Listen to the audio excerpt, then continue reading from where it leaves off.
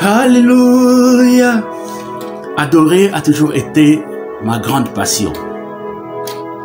L'heure est venue et il est déjà là où de vrais adorateurs adoreront le Seigneur en esprit et en vérité.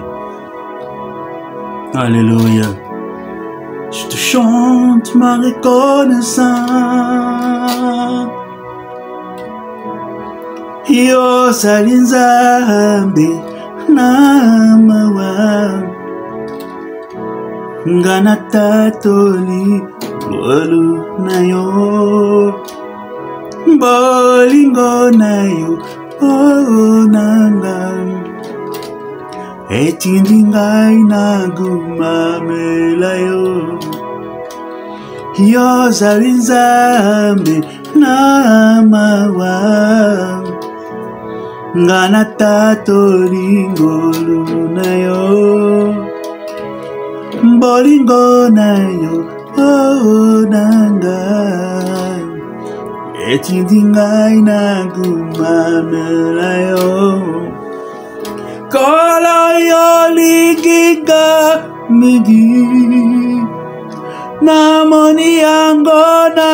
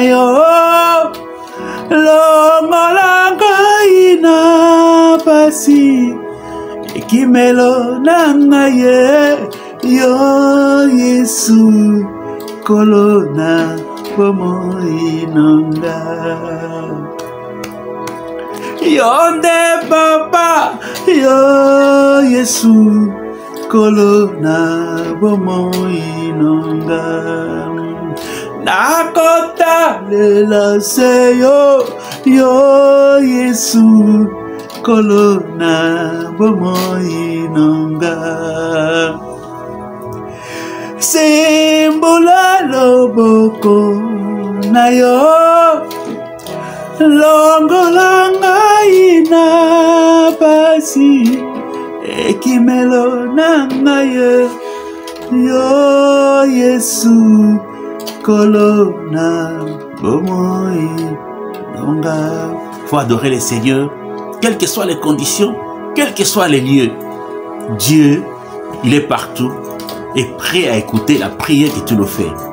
Oh, adore le Seigneur. Si tu ne sais pas chanter, mets une chanson d'adoration à côté de toi. Ça va te permettre d'entrer dans la présence du Seigneur.